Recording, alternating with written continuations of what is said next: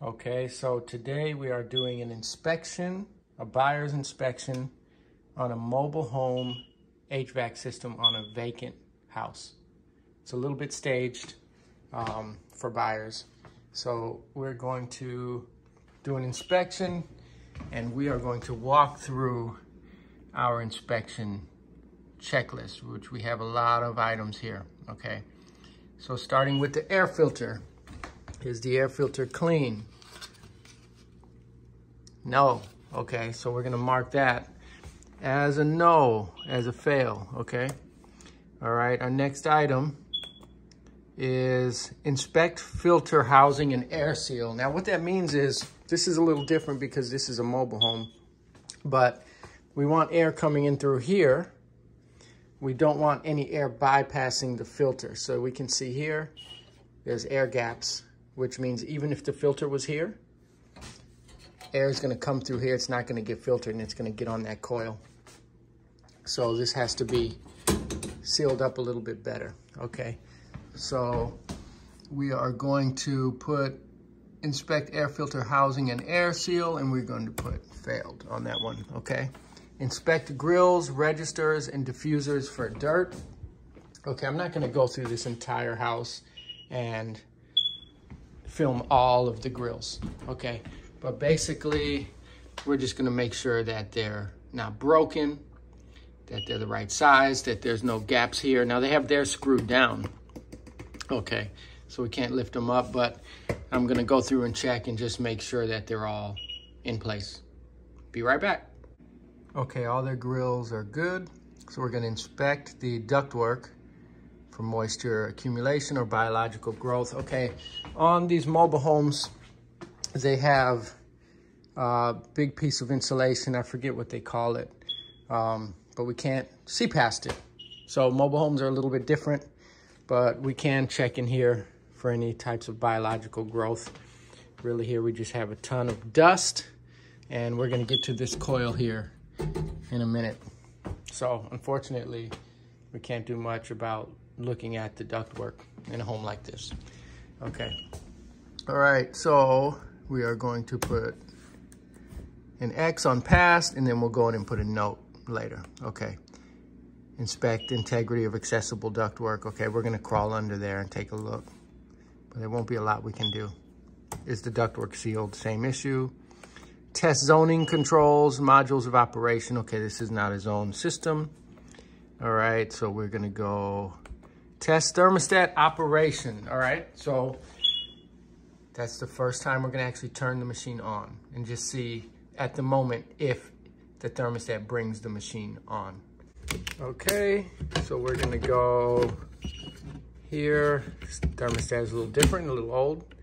Okay, so we are in, we're going to check and see, let's put it in heat mode first. Okay, heat, it's 56 in this house. We're gonna turn it up. All right.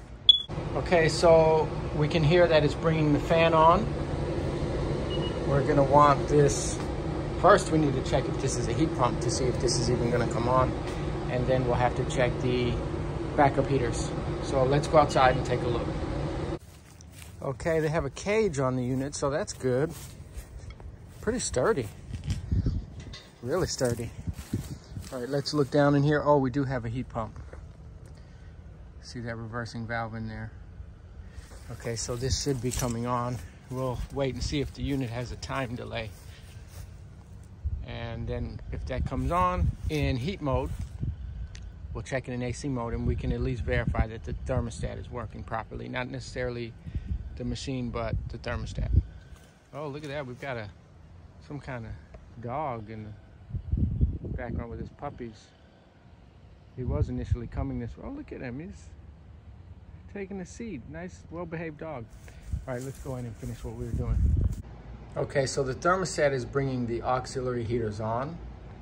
The condenser is not coming on, so we're gonna check that in a minute. But first, I just wanna check to see if the thermostat will bring the condenser on in air conditioning mode. It's a little cold out here, okay. All right, so we've got it set at 48. Let's take a look.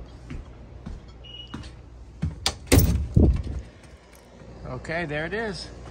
It's on. Got the dog being a little curious still. Oh, okay. All right, so we're gonna have an issue with probably the wiring of that thermostat, I'd imagine. There's no way to know without troubleshooting. Okay. Okay, for now, on test thermostat operation, we are going to put fail. We're gonna come back and check these things that failed. Test and inspect the drain pan and the safety switches, okay? All right, on a mobile home, there's the drain here. And that drain is going all the way down. And there are no safety switches here, and there needs to be by code. So I would put a safety switch somewhere on here, maybe even in the pan, um, or out of the backup drain. Okay, so we're gonna have to put fail on that because there are no safety switches. Okay.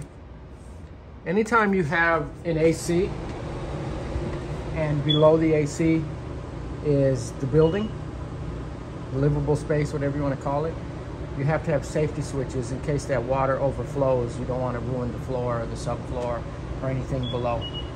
Okay, so that's what I mean by safety switches. Okay, test and inspect unit safety switch. They don't have one, okay? Inspect cabinet, cabinet fasteners and panels. Okay. Basically, this is really simple. That panel is on there, pretty good.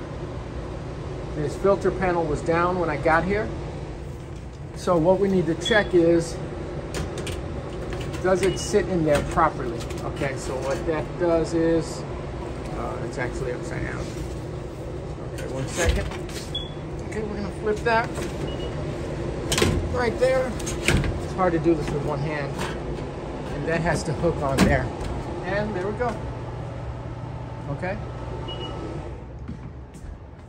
All right.